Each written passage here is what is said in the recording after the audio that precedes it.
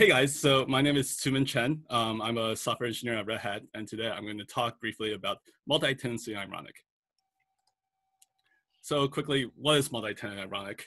Well, Ironic was originally designed for admin-only use. Multi-tenant Ironic simply means we allow non-admins to have selective API access to particular nodes. What's the motivation? Well, I work with an initiative called Elastic Secure Infrastructure, or ESI, which is an initiative started by the Mass Open Cloud, or MOC. Um, it works on several projects, but one question it was trying to answer was, if you're in an organization with a bare metal cloud, what do you do during periods of inactivity within your bare metal cloud? Well, one answer that they proposed was that multiple organizations actually collaborate together and donate hardware into a single bare metal cloud which has hardware belonging to multiple owners. Um, in that cloud, owners have exclusive use of their nodes, but owners can also choose to allow a lessee to gain temporary access to one of their nodes. So you can imagine if you're a research institution with a bare metal cloud and you share your hardware with other research institutions, you still have exclusive use of your hardware whenever you need it. But during periods of downtime, you can donate uh, use of your hardware to other research institutions. And during moments when maybe you need a little bit more, you might be able to find that hardware from other, other organizations. So when ESI decided to go ahead with this project, um, uh, we talked to the upstream uh, Ironic dev team about how we might implement this in Ironic. And they were very helpful in uh, helping us come up with a series of implementation steps and writing up a spec. Um, so the implementation is actually pretty straightforward. Um, the first thing we did is we updated nodes to have owner and lessee fields. And actually, Ironic nodes I already had the owner field, but it was purely informational. Next, we expose owner and lessee fields to policy. And in OpenStack, policy just means it's a set of rules that determines whether a user's API request is going to be accepted or rejected. Um, so by exposing owner and lessee fields to policy, we can add two new, new roles, is node owner and is node lessee, which says, you know, is a person making this API request uh, the owner of this node or the lessee of this node? Uh, policy roles can be chained together. So with those two roles in place, we can now do things like updated uh, bare metal node update to allow the API request to go through if the requesting user is an admin or is the owner of the node. Uh, similarly, uh, for bare metal node set power states, we can say that this API request is okay if the user is an admin or the owner of the node or the lessee of this node. Um, by default, uh, in Ironic, uh, the, the default policy roles um, still shuts off API access for non-admins. So um, in order to enable this, you would have to modify your policy file, but that's a very, very straightforward uh, process. And really, that's most of the implementation. Uh, that's, that's really the bulk of it. Um, there are a few additional details we worked through. Um, one was uh, we discovered that if you want to provision a node using standalone Ironic, um, you need to be able to update the node's extra and instance info fields. Um, if you're a lessee, so one way of doing this would be to grant non-admin users the ability to update um, update the node's fields. But if you're a lessee, then you probably don't want to grant a lessee the ability to update any arbitrary node field. So we added two additional policy roles uh, for uh, update policy roles specifically for the extra and instance info fields. Uh, another thing we did is we exposed the node owner and lessee for associated bare metal port operations. So now non, non-admins can view bare metal ports and the uh, bare metal ports associated with their nodes. And depending on the policy, they can also manage them, create or uh, do other things with them.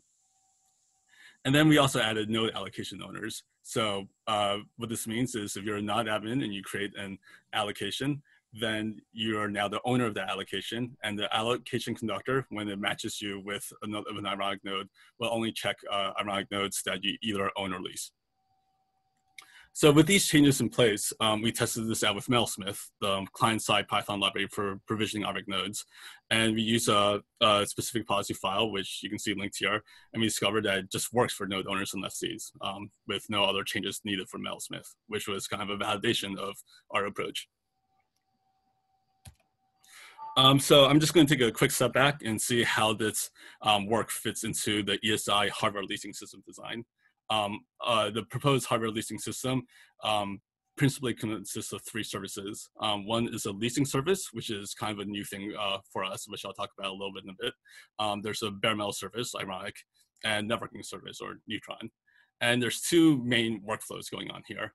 One is the leasing workflow where owners can offer up their nodes into the leasing service and then lessees can go into the leasing service and see what nodes are available and lease nodes for a period of time. And when the lease begins, then um, the leasing service simply tells Ironic, can you set the can you set the um, the nodes uh, lessee to the person leasing this node? And when the lease is over, um, Ironic will unset the lessee and clean the node. The other workflow is the provisioning workflow, where owners and lessees can take the nodes that they own or lease and perform various provisioning actions. They can provision it using Metalsmith. Um, if they have an external provisioning service, they can connect their nodes to that external provisioning service using Neutron. Um, they can power cycle the node, they can perform other actions. Um, one thing I want to emphasize here is that the leasing workflow and the provisioning workflow are very, very distinct from each other. So if you're interested in our in, in the multi-tenant ironic work uh, for provisioning, but you know you don't need a complicated leasing workflow. Say you either want owners to to designate lessees themselves, or you don't even have any need for lessees. That's totally fine. Um, you don't need any you don't need any of that, and you can still take advantage of multi-tenant ironic. Um, just some quick notes about some of the additional development we did uh, that's that aren't directly ironic related for this hardware leasing service. Um, one is we added support for the Cisco Nexus switch and the ML2 Ansible networking because that Cisco Nexus switch is what the MOC uses. Um, we also found it useful to add some simplified user commands. And what that really means is that we extended the OpenStack CLI to combine multiple, multiple OpenStack commands together and discovered it's a really simple process to do so. Lastly, we created this really simple leasing service where, as I said, owners can offer up unused nodes for specified time periods. Lessees can claim unused nodes, and the lessees and the leasing service will take those leases and tell Ironic what to do with them. So what's next? Um, so first of all, we're currently uh, uh, deploying this hardware leasing system into as a on a trial basis within the MOC, and we're going to um, get some trial users to test it out, and the expectation is that their feedback will drive further development. Uh, another thing we're, uh, we're working on is node attestation with Keylime. So with Keylime, uh, Keylime can talk to a, a, a piece of hardware's uh, TPM module and test the node, uh, make sure it hasn't been tampered with, which is something that I think a lessee would be very interested in knowing. Um, we'd also like support for um, uh, for non-admins to be able to build a node with volume um, uh, with Ceph iSCSI support in our case because of requirements. Um, in order to do so, uh, we just need to expose node owner lessee um, for associated bare metal volume targets and connectors operations so that if you own or lease a node, then you can uh, create volume targets and connectors for it. Um, after that, uh, we uh, just need to add additional update policies for specific roles. Um, one is updating node capabilities, and the other is updating a node storage interface. Um, this is stuff that this code that we've actually already done. We've tested it, it works, and we're just uh, waiting for it to be reviewed.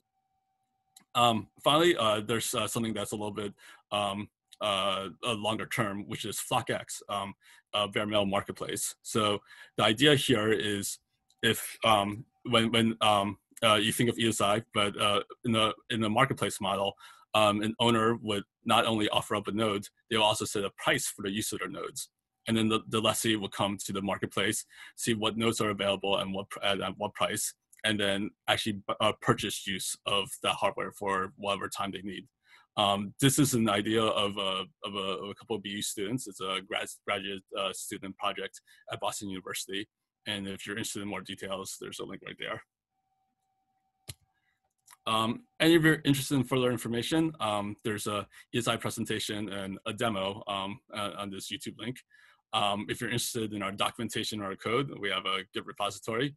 And if you'd like to talk to us over IRC um, about ESI, then we can be found in Freenode in the MOC channel. And that's my entire talk. Thank you.